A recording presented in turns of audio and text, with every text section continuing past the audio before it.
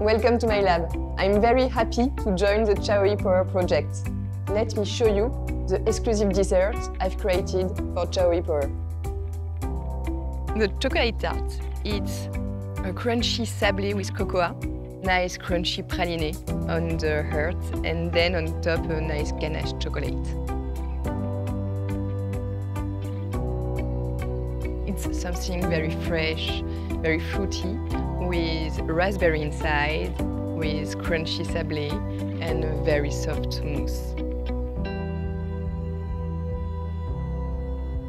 It's a dessert for people who like acidity. There is a bergamot mousse, then a jasmine mousse with a soft and, and sweet uh, shortbread. I love to create emotion by using only natural ingredients to be casual with very small and nice details. It's cool and trendy.